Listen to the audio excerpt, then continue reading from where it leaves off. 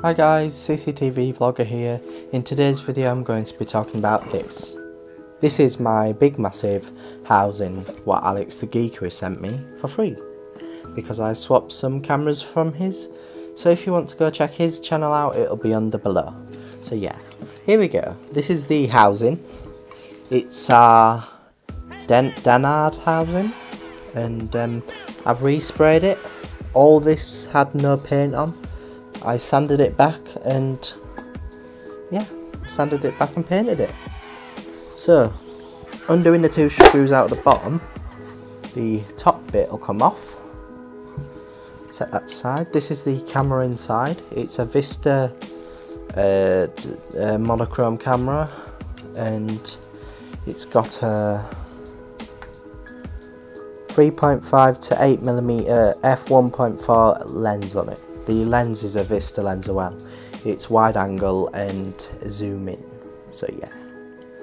Uh, it's got the heating element which runs off 12 or 24 volts. Uh, if you run the camera with the same power supply 12 volt and wire it into the heater it doesn't work. It powers the heater but doesn't power the fan.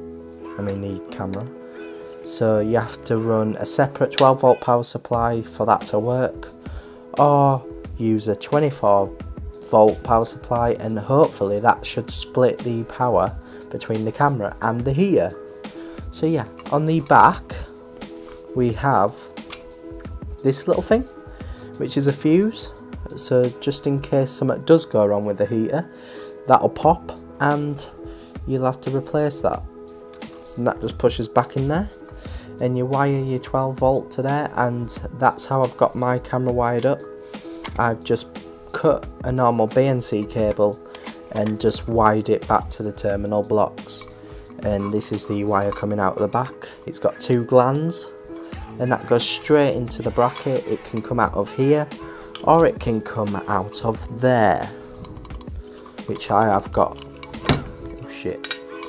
So yeah. Uh, it's got a mic this camera uh, it's got audio out, so you can, if you've got a audio line well, you can attach that. So it's very versatile, and it's got a mounting plate which can slide in and out.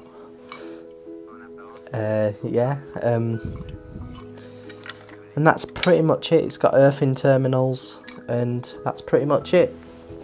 The housing just go goes back on. Me wires blocking it. Push that back in. And there you go. You just tighten them two screws up at the bottom. And yeah you just mount it to your wall adjust the camera and that's your camera up. So yeah thank you for watching this video guys. Hope you like it. And please subscribe to the channel. It does really help me.